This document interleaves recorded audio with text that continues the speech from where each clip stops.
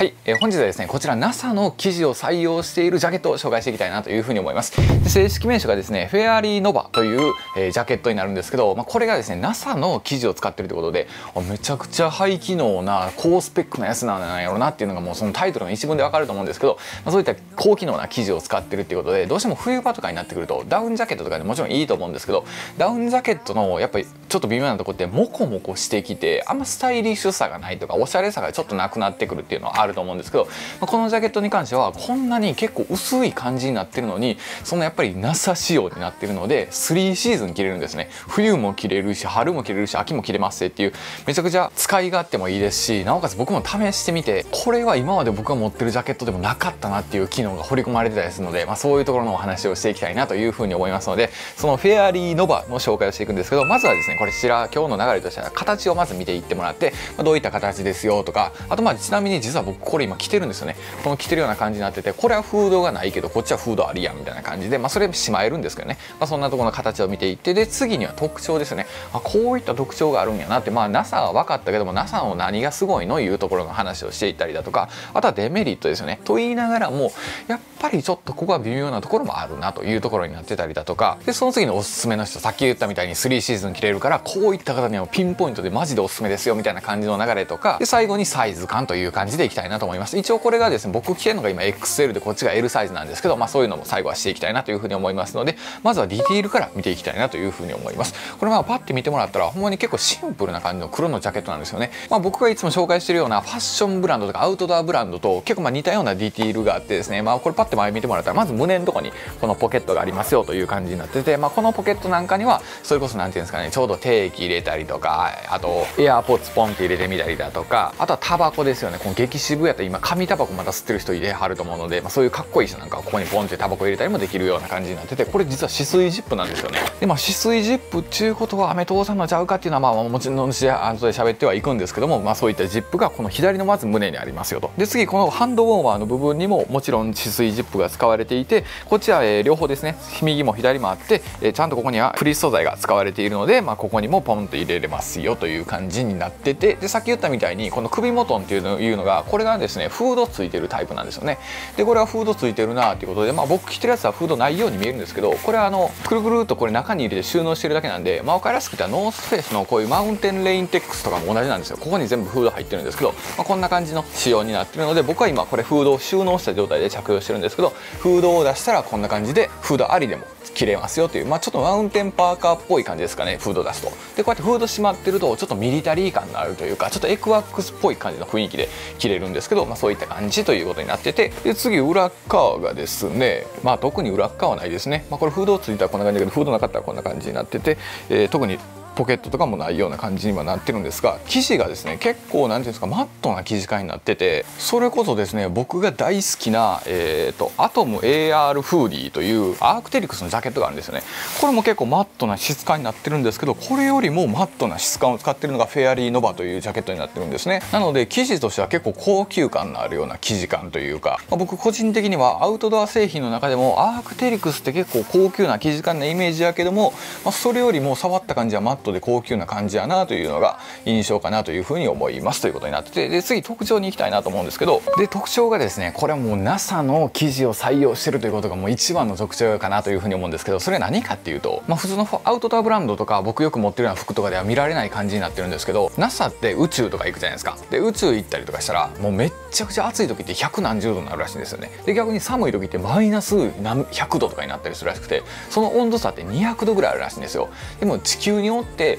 朝晩寒いなーって最近言ったりすると思うんですけど、まあ、それも言うたって朝が10度昼間は15度20度とかいう、まあ、大体10度ぐらいの温度差じゃないですか。だけどその月に行くとかになった場合ってもうほんまに温度差200度とかになったりするのでそんな時っていちいちあ寒なってきたからジャケット着ようとかできひんじゃないですか。でそこで NASA が開発した生地っていうのがヒートエールという記事なんですね。でこのヒートエールっていうのが何がすごいかっていうと暑い時も寒い時もしっかりこの生地でバンと止めてくれるんですよ。なので普通やったら、まあ、僕ら持ってるようなジャケットってこういうのって要は寒い時に着るようなジャケットですよみたいな感じになってじゃあ暑い時はまた暑い時で別のジャケット着ますよみたいな感じになるじゃないですか。だけどこれに関してはこれ1枚で暑さも止める寒さも止めるっていうことになってるのでさっき言ったみたいに3シーズン着れるんですよね。なのでまあ本来やったら例えばその日の気温とか特に秋とか春とかって日によって気温が違うとかってあるじゃないですか、まあ、真冬はずっと寒いとしても、まあ、12月ととか11月とか、まあ、2月3月とかもうちょっと微妙に寒かったり暑かったりする時なんかもこのヒートエールを使っておけばしっかり弾いてくれるのでよくあるのがこういったジャケットで冬過ごそうと思ったらあ寒すぎたってなったりとかあ今日はこれめっちゃ暑いなってなったりとかしてちょっと服のチョイスをミスるみたいなのがあると思うんですけどそういうのがこのヒートエールを使うことで全くなくなるんですよね。だから僕もこれ着てちょっと南出かけてみたんですよ。で南出かけてほんで帰ってきたりとかしたんですけどその最中ってやっぱりあったかくなる時もあれば寒い時もあったんですよ。まあそれって寒い時にこれ着て寒くないのはまあまあわかるじゃないですか。僕も結構アウトドア製品持ってるからはいはいはいこれはまあまあわかるよと。やけど暑い時とかって逆に暑すぎたと思って縫う時とかあるんですけどこれに関しては暑いのもしっかり遮断してくれるので外気が暑かろうが寒かろうが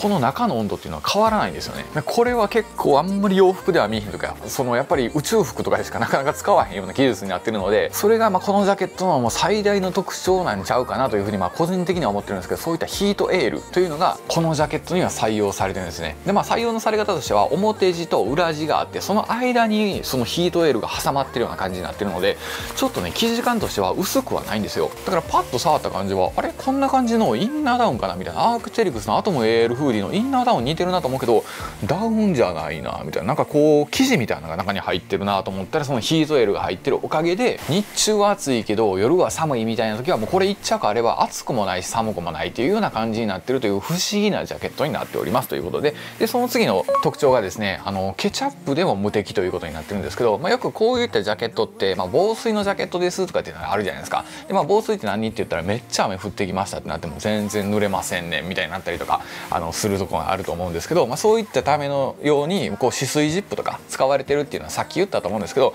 止水ジップ使われてるのそうなんですけども実はケチャップでもいけるんですよね。なので僕さっき実験してみたんですけどこのジャケットの、あのところにケチャップをまず塗るんですよ。でケチャップ塗って、まあ、もちろんこれは良いか真似してほしくないんですけどもケチャップ塗ってみて水でパッて流したら簡単にパンって流れるんですよ。でこれっていくら防水って言ってもやっぱり普通の防水ジャケットでしちゃうとあのシミが残っちゃったりとか汚れが付着したりすると思うんですけどこれに関してはそういう強力な撥水の加工をしてあるので全然汚れたりもせえへんしあと水もしっかり撥水してくれるというような加工がついてるということになってますね、まあ、なのでちょっとイタリアンとか食べに行こうかみたいな感じでイタリアンとか食べに行ったりとかした時にスパゲッティのソースがパンって取ってきてもあオッケーオッケー。今ちょっと雨降ってるからちょっと外行ってくるわ。みたいな感じで雨でバーって打たれたりしたらもう綺麗に流れてると。いう感じになってきたりだとかあとはまあ例えば彼女ですね。彼女をめちゃくちゃ怒らしたりとかしていきなり目の前にあるハンバーグ掴んでバシン投げてきたりとしてもここでパンって受け止めてあげれば、まあ、多少のケチャップとかやったらここに水にシャワーでシューって浴びてあげればごめんねって言って優しく抱きしめてあげることもできるというようなジャケットになってるという感じにはなってますね、まあ、なので水だけじゃなくて例えば、えー、お好み焼きのソースであったりとかたこ焼きのソース。これはあの関西人から言わせてもらうと全く別物なんでお好みのソースでたこ焼きは作らないでいただきたいと。でたこ焼きのソースでお好み焼きを作らないでいただきたいと。これはあのこの動画を通じて僕嫁に言ってますので、まあ、結構関西以外の方ってごっちゃにする方多いと思うんですけど関西人は結構ここの炭焼きをきっちりしておりますので、まあ、そういったあのソースはちょっときっちり分けていただきたいなというふうには思うんですけどあのまあ何の話だったかというと、まあ、そういったソースが飛んでも全然あの水で流せばシミにもならへんし後も全く残らへんというような加工がされてるというのが特徴であってでその次がですねこれ洗濯があの簡単にできるんですよね。で洗濯をこれ普通にジップ閉めて洗濯機にポーンってネット入れて放り込むじゃないですか。あとはいつもの洗濯と同じようにピピって回してあげたらもう勝手に仕上がってるみたいな感じになってるので、まあ、洗濯とか取り扱いも楽なんでいちいちなんか考えてあこれしやなあかんとか手洗いしやなあかんとかっていうのが全くないので取り扱いもあの楽になってますよっていうことがあったりだとか。でまあその次としては3シーズン着ているということになってるので、まあ、ほんまにそのさっき言ったみたいにちょうど今の時期とかですよね秋口とかやったらちょっと肌寒い時もあれば肌寒くないちょっと暑い時もあったりすると思うんですけど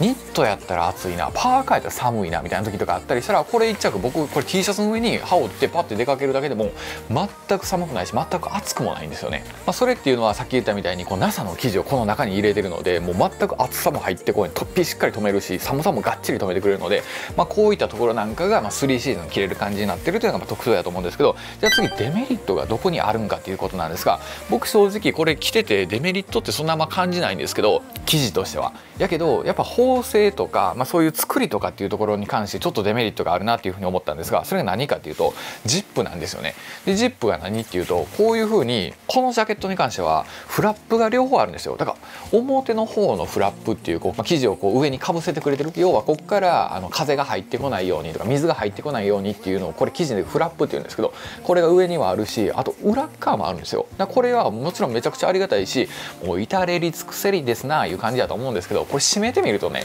引っかかるんですよ。なのでこれパッて締めるじゃないですか。ほんなら勢いよく例えばギュッて締めようと思ったらどっかでやっぱ引っかかるんです今もこれ引っかかって裏のフラップで引っかかってるんですけどこれは両面フラップをつけることでありがたいねんけども若干着る時に着づらいというところがまデメリットかなというふうには思います、まあ、アウトドア製品とかやったら結構どっちかじゃないですか。裏側にあるか表にあるかどっちかだと思うんですけどこれは両方にあることで逆にこう着づらさが若干あるというか締めづらさがあるということになってるという感じになっててで次のデメリットとしてはですね2点あるんでもう1個あるんですけどそれ何かっていうとこれがですねフェアリーノバっていうのをさっき言ったと思うんですけどえ？どこっていうことになると思うんですよねだからあんまりミーハーな人とかトレンドが好きな方には向いてないと思うんですけど、まあ、それこそ洋服をめっちゃ分かってる方とか生地とかに対してもしっかり知識のある方やったらこれがめちゃくちゃすごいことが意味わかると思うんですけど、まあ、ほんまにロゴが好きなんですっていう人に関してはあんまり向いてないというかちょっとこの辺はえどこのブランドなんとかそのロゴがかっこいいって言われると、まあ、どうなんかなっていうふうが思うので、まあ、この2点がデメリットかなと思うので、まあ、僕個人的に見てて生地の悪さっていうのがあんま感じないんですよね。まあ、だから生地とか性能に関してはそんなに多分誰もこれ見てて文句言う人おらんやろうけども、まあ、そういったそのフラップの作りとかあとはこのブランドがどこなんていうところが、まあ、一番の、まあ、デメリットになってくるんかなというふうには思います。でそれがじゃあおすすめの人がどんな人がおすすめなんかというとですね、まあ、僕もこれ実際ですね今回提供いただいて着用してるということなんで XL と L があるんですけど、まあ、実際着用してみて何日間か来たんですけどやっぱ1着だけで長く着たい方って言ってるじゃないですか、まあ、例えばですけど今時期ぐらいからもう冬も着たいし春も着たいねんとかあとはまあ例えば車の運転される方なんかめっちゃいいと思うんですよね。生地的にもそんなに分厚くないので運転もしやすいしでその代わり休憩とかでパーキングでパンって止まって高速とかで。で外トイレ行こうと思ってもこれだけで行っても寒くないしみたいな。やけど普通のダウンジャケットとか普通のダウンベストが着ると結構モコモコして車内は暑いけど外出たら寒いみたいになったりとかする時あるじゃないですか。あのいちいち脱がなあかんとかあったりすると思うんですけどこれやったらもう脱がんと前開けといて運転だけバーっとしてで外出る時だけジップヒュッて閉めたりしたらもう出れるとと思いますし普通のマウンテンパーカーとかに比べるとしっかり温度を止めてくれるという感じがあるんですよね。だから普通のマウンテンパーカーって温度は止めてくれるんじゃないですか。そのノースフェイスにしてもアークテリクスにしても風とかは止めてくれるけど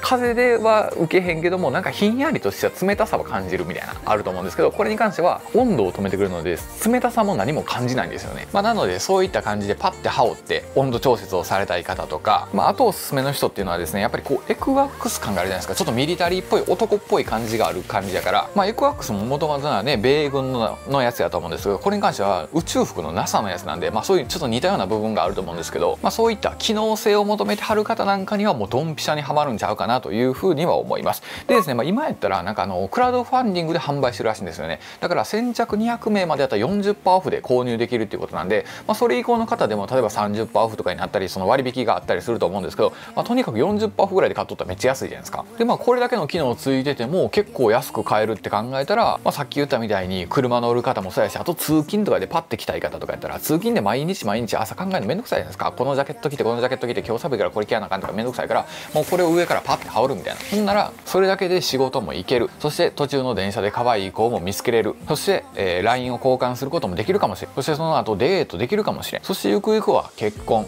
出産という明るい未来が待ってるかもしれないので、まあ、そういった感じということで、まあ、何の話ってかっていうと、まあ、一応そういう感じであの1着着てるだけでほんまに長い期間着れますぜということになっておりますということで最後はねサイズ感を見てもらいたいと思うんですけど僕がねこれ XL を着用してるんですけどサイズ感的にはあの普通のサイズ感より若干ちっちゃめかなと思ってるので僕やったら普段ね例えばどんなブランドを着ても L サイズが多いんですよ。やけどこれに関しては XL でちょうどいいみたいな感じになってるのでまあ後で L サイズも着てもらう、えー、見てもらうんですけど、まあ、それは若干ちょっとちっちゃく感じるので、まあ、普段着てはるの M が着てはるの多いんやったら L にした方がいいやろうし XL 普段着てはるんやったら XXL とかそういうなんかあのもう1個上げたぐらいのサイズ感っていうのがいいんかなというふうには思います。でですね、まあ、詳しくは下の動画説明欄に貼ってますのでそちらから見てもらえれば、え購入サイトとかもありますので気になる方はそこから見ていただければなというふうに思います。ということになってます本日はですねフェアリーノバを紹介してみたという動画になってます。また別動画でお会いしましょう。ありがとうございました。